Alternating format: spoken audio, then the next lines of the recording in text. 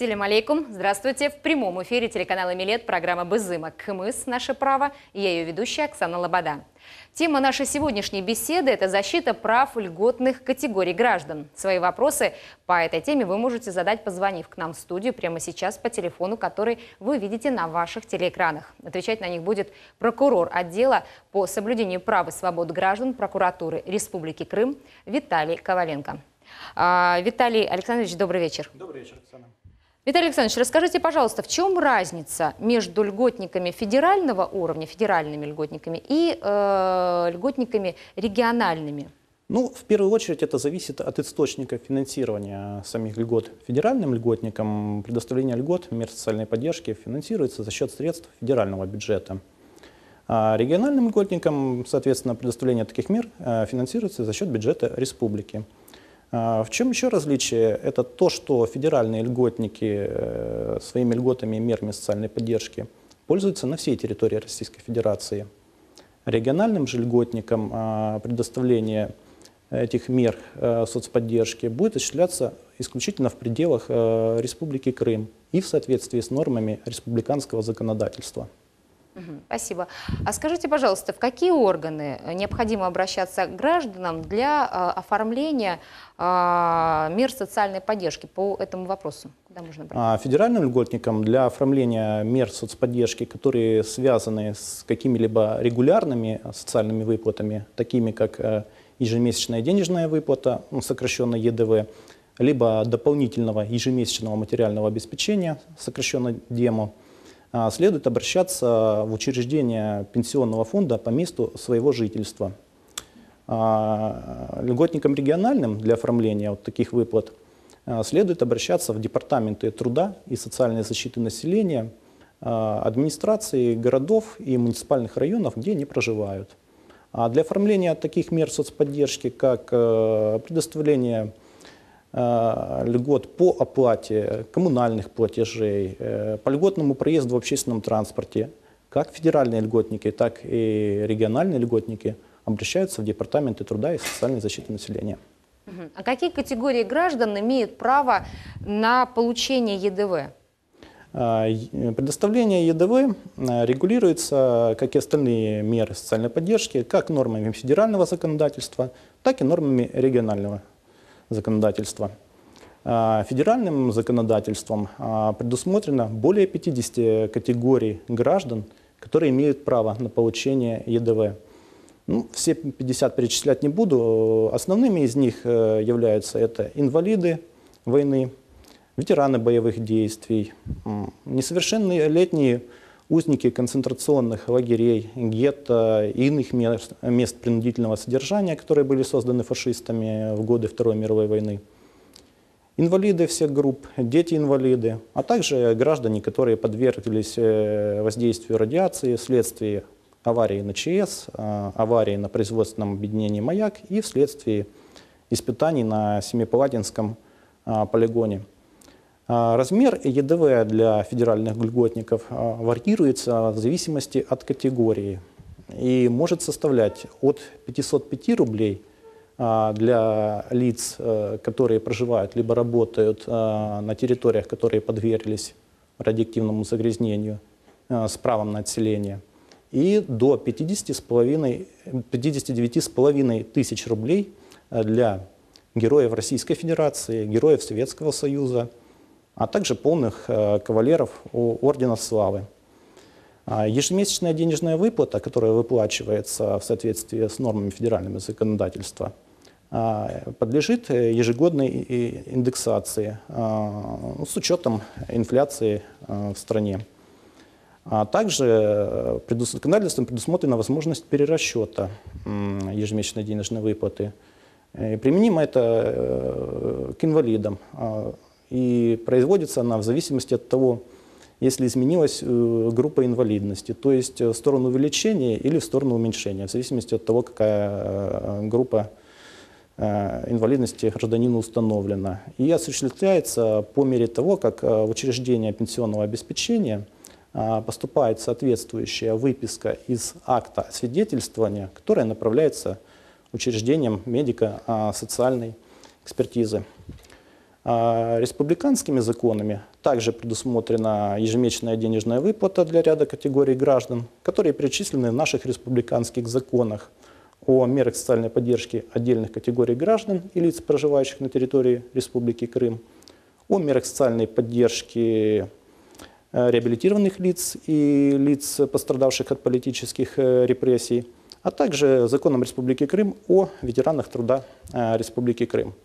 Спасибо. Я прошу прощения, давайте остановимся на минутку на этом. У нас звонок от наших телезрителей, и затем вернемся и продолжим нашу беседу. Добрый вечер, мы вас слушаем. Задавайте ваш вопрос. Алло, Здравствуйте. алло. Здравствуйте. Я вам хотел бы такой вопрос задать. Я инвалид второй группы уже лет как 30. да. Я получаю это по инвалидности все льготы. А вот сейчас вот это по закону, российским закону, вот эта депортация на население крымских татар, Так. Я ничего, ни- никакой льготы не могу получать. Ни там проезд, ни на этом, ну, в общем, льгот я не получаю. Я только по инвалид получаю. Мне можно ли вы будете это привести, вот это 50% льготы, там какой, 25 или сколько, вот, на сына, да- насчет депортации эту справку. Так, в чем ваш вопрос? Вот такой, вот это вопрос, ага, все, больше у меня нет ничего. То есть ваш, ваш вопрос, э, правильно ли вы- мы поняли, то есть заключается в том, имеете ли вы право на какие-то льготы, да, как реабилитированные, если вы являетесь инвалидом, так? Да, При да, этом, и вот, получаете спасибо. Льготы, вот, вот, льготы да. по инвалидности. Да, да, да, да, вот правильно, вот правильно, да. Спасибо большое. Ваш вопрос понятен. Понятен. Ну, э, если что касается ЕДВ, о которой мы сейчас говорили, то если э, гражданин э, может обратиться за назначением ЕДВ как по основаниям, предусмотренным федеральным законодательством, так и по основаниям республиканским законодательством, одновременно такая выплата вот назначена быть не может и та, и та. То есть надо Вот выбирать. Гражданин сам либо- выбирает Да. или ту, или ту. Ну, э, если руководство финансовыми соображениями, то э, гражданину я порекомендую обратиться за выплатой в соответствии с нормами федерального законодательства, потому что она э, для инвалидов больше. Ну, о в размерах, принципе, которые предусмотрены республиканским законодательством, подлежат ли они индексации, ну, расскажу в дальнейшем в своем выступлении. Ну, в принципе, имеют право также, да, как реабилитированные, Но в то же на время- бесплатный проезд. Да, да, да. знаю. А если что касается этих мер соцподдержки, он может обратиться э, в соответствии с республиканским законодательством, получать э, предусмотренные для ре- реабилитированных граждан э, меры в виде компенсации расходов на коммунальные платежи, льготный проезд и иные перечисленные в соответствующем республиканском законе. Спасибо.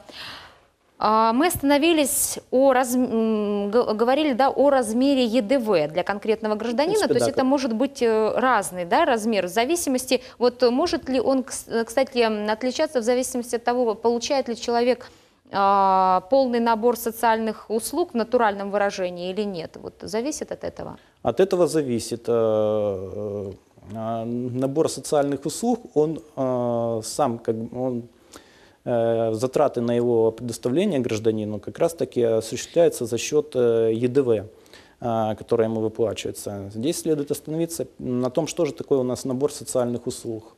Он включает в себя э, медицинскую составляющую, санаторно-курортную составляющую и транспортную составляющую. Медицинская составляющая, она подразумевает под собой э, э, предоставление гражданину бесплатных лекарств в соответствии с рецептами, а также медицинских изделий. А что касается детей и инвалидов, также предоставление соответствующего лечебного питания. Санаторно-курортная составляющая подразумевает собой предоставление гражданину при наличии на то показаний санаторной курортной путевки э, соответствующее учреждение. Транспортная составляющая подразумевает под собой э, бесплатный проезд э, к месту, где он будет проходить это санаторно-курортное лечение, и обратно. А, Гражданин, э, вот как я уже сказал, набор социальных услуг финансируется за счет ЕДВ, удерживается из ЕДВ, который получает гражданин. Если он хочет, он может предоставляться как в натуральном виде, так и в денежном эквиваленте. То есть, если гражданин хочет получить, э, попросту говоря, на руки больше денег, он должен подать э, заявление об отказе предоставления ему э, набора социальных услуг в натуральном выражении. Причем он может отказаться от этого набора как в целом, так и от одной его составляющей. Частично какие-то Да. отдельные услуги. Да. Э, Причем достаточно подать такое заявление один раз, и последующее ежегодное подтверждение своего волеизъявления не требуется до тех пор, пока гражданин, соответственно, не передумает и подаст новое заявление. Единственное, что нужно сделать, это если гражданин пришел к такому решению, заявление нужно подать, успеть подать до 1 октября текущего года. И действовать оно начнет э, с 1 января следующего года. Спасибо. Давайте послушаем, у нас есть во- вопрос от телезрителей. Добрый вечер, мы вас слушаем. Здравствуйте.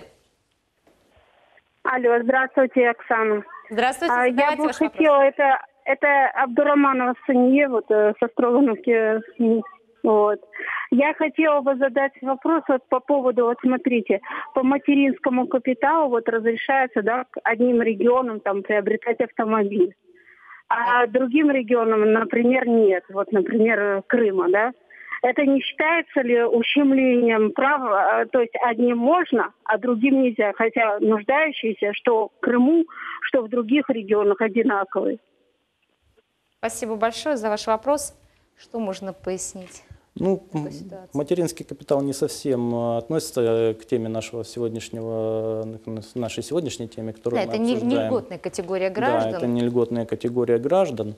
которая имеет А. право на получение материнского капитала. да. Ну, что могу порекомендовать э, заявителю? Он может обратиться к нам на прием, и, соответственно, я подготовлюсь к тому, чтобы ответить на этот вопрос. У нас прием а, осуществляется каждую пятницу, ну, правление, в котором я работаю. А, Ну, также, думаю, При учитывая- республиканской прокуратуре, да, Да. и на Севастопольской? Ну и думаю, будет этому посвящена также отдельная передача с, с учетом актуальности вопроса. Да, спасибо. Действительно, вопрос хороший, его стоит изучить, посмотреть, действительно, в каких регионах применяется да, такая практика, и э, может ли, э, имеет ли право вот, местные органы власти принимать такие решения, вот, э, по что говорит федеральное законодательство. Но это надо изучить и э, посмотреть. Этот вопрос действительно было бы хорошо, если бы в Да. Крыму также разрешили э, использовать материнский капитал, в том числе и на приобретение транспорта. А, э, Скажите, пожалуйста, а если гражданин одновременно а, имеет право на обращение за назначением ЕДВ а, в соответствии и с федеральным, и с республиканским законодательством, могут ли назначить такие выплаты одновременно? Ну, при наличии по нескольким основаниям, э, как по федеральному законодательству, так и по республиканскому, назначается только по одному основанию по выбору а, Человека самого гражданина. Да. Но это да? касается ЕДВ из выплат. О демо, ну, расскажу далее. А, О наборе социальных услуг. Да, и о том, какие категории граждан имеют право на его получение, мы уже немного сказали, да. А, Что еще вот в этом плане мы можем добавить? Еще есть какие-то у нас э, добавления по этому поводу? Ну, мы рассказали о самом механизме его предоставления и о том, как от него отказаться или наоборот э, к нему вернуться. А Что касается категории граждан, а, то это э, получателями НСУ являются исключительно федеральные льготники, э, это которые, важный тоже и которые являются получателями в то же время ЕДВ, потому что за счет ЕДВ и осуществляется э, оплата вот этого набора. Ну, к ним относятся инвалиды войны, участники Великой Отечественной войны, ветераны боевых действий, инвалиды всех групп, дети-инвалиды, а также граждане, пострадавшие от, э, ядер, а, от радиации вследствие аварии на ЧС, и производственном объединении «Маяк» и вследствие испытаний на Семипалатинском полигоне. А также несовершеннолетние, узники концлагерей и иных ме- мест принудительного содержания. А, Куда гражданин может обратиться по вопросу получения льготной путевки, например? И каков порядок предоставления вот такой путевки? А, Имеются ли категории граждан, имеющих э, право на внеочередное получение вот таких путевок? По вопросу получения путевки э, гражданину, который обладает таким правом, необходимо обратиться в учреждение фонда социального страхования по месту своего а, жительства. Подать соответствующее заявление, к которому приложить э, справку, э, если не ошибаюсь, форма э, 070У4, которая выдается медицинским учреждениям, где он состоит на учете.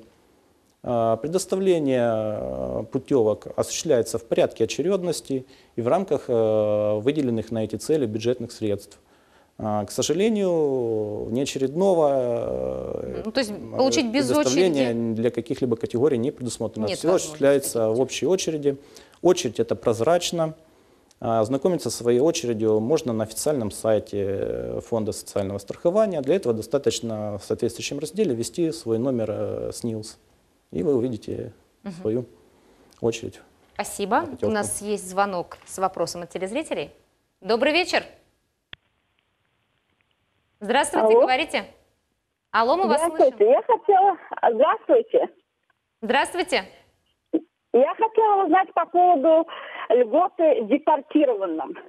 Вот если есть льгота мне и второму человеку в этой же семье, дают одному человеку в семье льготы. Почему? Нам же одному человеку только дают, когда дают. А ему почему второму не дают? Ну, смотря какую льготу, я думаю, это тоже имеет значение. То есть, наверное, по квартплощади, если, например, по э, оплате за коммунальные услуги, да, если человек прописан в этом же месте, и два человека проживают, понятно, дадут кому-то одному. Любые льготы, вот я смотрю, у кого бы это ни были, пусть учитель будет льготник, пусть будет депортированный льготник. Как учитель-льготник дает на одного человека? Сколько-то кубометров, допустим, газа, света и прочее. И депортированным дают. Депортированные вот э, в вашем случае в разных местах проживают или в одном месте? Вот э, Нет, в одной семье. в одной семье в одно- по одному адресу, я имею в виду, да? Да, да, да, по одному адресу. По одному адресу. Спасибо большое за ваш А по вопрос. одному адресу и оба являются депортированными. Да, да. Э, Понятен, да, вопрос. То есть почему не предоставляются обоим льготы, да? Вот если э, члены семьи, несколько из них являются э, реабилитированными, то есть вот депортированными гражданами. Ну, здесь этот Могут норматив, вот, на распро- это все в пределах норматива, и норматив, он э, как бы учитывается, и даже если оба члена семьи, насколько я помню, по соответствующему постановлению Совета Министров, даже если оба члена семьи. они, э, по идее, должны распространяться на обоих, да, такие льготы? Ну, на льготника. Да, на вот льготе. именно. Ну, э, кто имеет такую справку о реабилитации, Да, да, и может надо- подтвердить. Но я думаю, что касательно других льгот тоже так должно быть, да, и по- в транспорте, соответственно, оба они могут В пользоваться транспорте, льготами, да. естественно, каждый За получает- подключение газу, э, каким-то другим Ну, подключение услугам. газа здесь э, Сложно на один сказать. лицевой счет получается, поэтому на чей лицевой счет на владельца, на того и и будет оформляться соответствующая льгота. Мгм, Спасибо. У нас еще один звонок. Добрый вечер. Мы вас слушаем. Задавайте ваш вопрос. Здравствуйте. Здравствуйте. Э, Есть бабушка, у которой э, имеется архивная справка, э, в которой э, написано, что в годы Великой Отечественной войны, она вместе с матерью направлена в Германию, которая работала на заводе в Дюссельдорфе.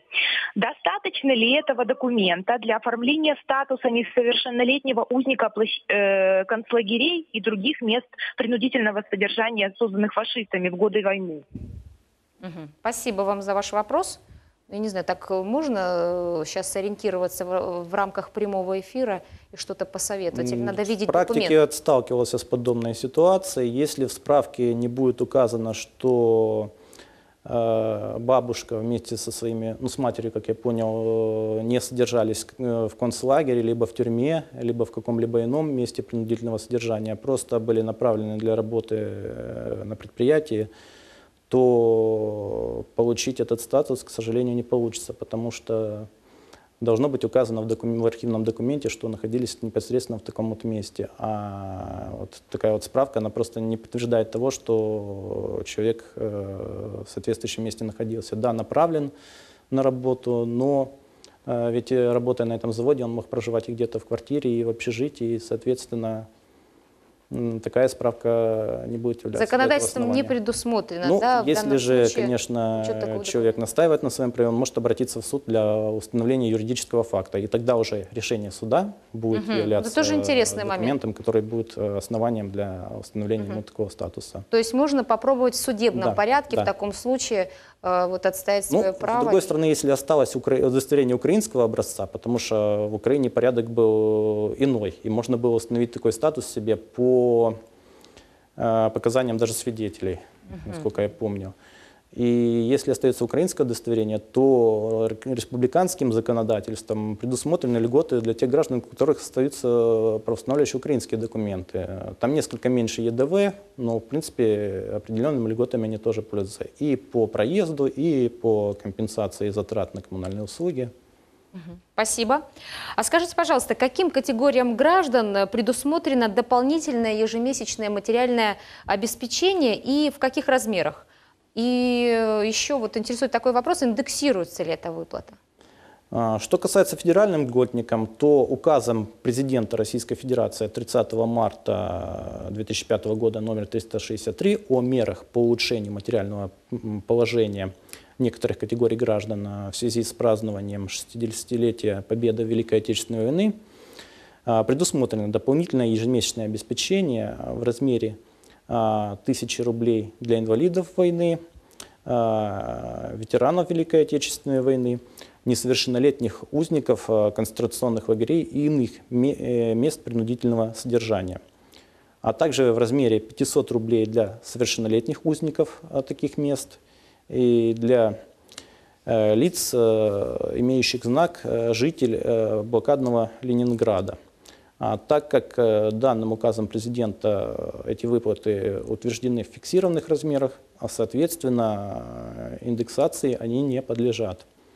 А, Кроме того, статьей 8 э, закона Республики Крым об особенностях установления мер социальной поддержки отдельным категориям граждан, а, проживающих на территории Республики Крым, предусмотрено дополнительное ежемесячное материальное обеспечение тем лицам, которые в соответствии с законодательством, которое у нас действовало на территории Республики Крым по состоянию на 21 февраля 2014 года, а, являлись получателями пенсии э, за особые заслуги перед Украиной, а, предусматривается дополнительное ежемесячное материальное обеспечение а, в размерах от 25 до 40 процентов э, социальной пенсии, установленной пунктом 1 а, части 1 статьи 18 э, э, Федерального закона о государственном пенсионном обеспечении. И так как размер этого демо э, привязан к размеру пенсии, которые у нас индексируются все, соответственно, будет индексироваться и размер вот этого дополнительного Данной ежемесячного выплаты. материального обеспечения. Также следует отметить, э, что в отличие от, от ЕДВ, гражданин, имеющий право на демо как по, э, по федеральным нормам и по нормам э, законодательства Республики Крым, может их получать одновременно. Ну, то есть, приведу пример. Если человек является инвалидом войны, и в то же время он был получателем а, ранее пенсии за особые заслуги перед Украиной, в связи с тем, что был он ну, награжден определенными наградами, он получает и тысячу рублей федерального дема, и а, дема, предусмотренная республиканским законодательством. Мгм. Спасибо. Виталий Александрович, у нас звонок, давайте послушаем.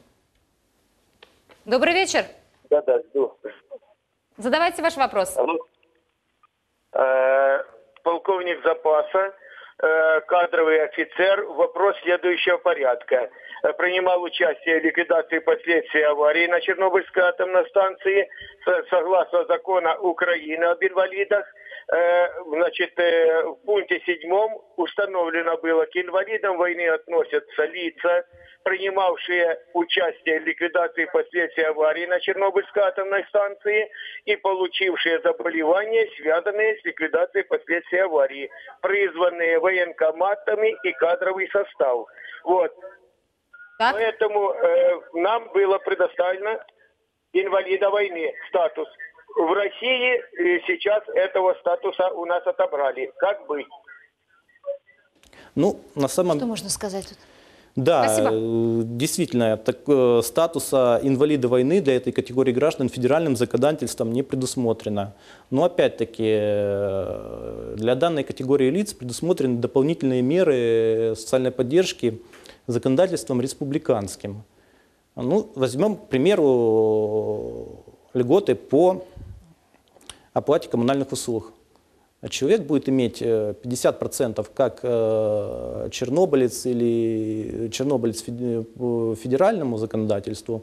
И кроме того, для данной категории лиц дополнительно предусмотрено 50% э, компенсации по законодательству республиканскому, что в сумме составляет 100%. Соответственно, те меры соцподдержки, которые он получал при Украине, ему сохраняются э, в в настоящее время. Ну, путем В вот соответствии да, с нормами законодательства двух уровней, как федерального и республиканского. Спасибо. И в завершении у нас осталось э, несколько минут уже до конца нашей передачи. Скажите, пожалуйста, а, ранее в Украине действовал закон, э, да, по которому а, одним из самых многочисленных льготных категорий граждан э, были дети войны. Какие гарантии для этих граждан предусмотрены, предусматривает законодательство Российской Федерации? М, Сохранены такие же самые законом Республики Крым о мерах социальной поддержки отдельных категорий граждан и лиц, проживающих в Республике Крым, э, статьей 7. Э, Предусмотрены для данных категорий граждан льготы в виде 25% компенсации расходов на коммунальные услуги, также льготы по бесплатному проезду в пригородном и городском а, транспорте. Единственное, что нужно учитывать, что льготы, то, что часто нам поступали такие жалобы, получаем льготы по коммунальным услугам, а не получаем по э, расходам на содержание жилого помещения. Э, Льготы по коммунальным услугам не предусматривают э, компенсацию расходов на содержание жилого помещения. И в украинском законодательстве это также отсутствовало. И последний вопрос на сегодня. Вот какие э, нарушения прав граждан вот касательно социальной защиты являются наиболее распространенными на сегодня? Ну, наиболее часто встречающимися в нашей практике оказываются нарушения, э, связанные с необеспечением э, доступа для инвалидов и маломобильных э, граждан к объектам социальной, транспортной, инженерной инфраструктуры, как показала практика. За последние, вот, э, за этот год и за предыдущий год вот, э, вследствие принятых нами мер обеспечена доступность более чем к 100 объектам социальной инфраструктуры.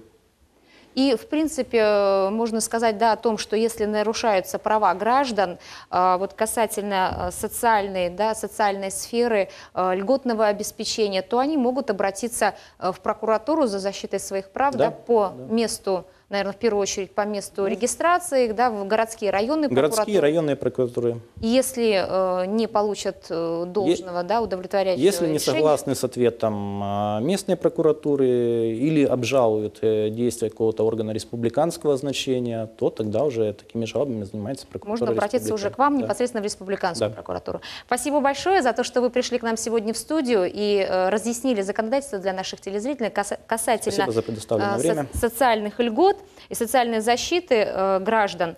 Телезрителям я напомню, что мы говорили о защите прав льготной категории граждан. На вопросы отвечал прокурор отдела по соблюдению прав и свобод граждан прокуратуры Республики Крым Виталий Коваленко. На этом у меня все. До встречи в следующую пятницу в 19.00. Хороших вам выходных.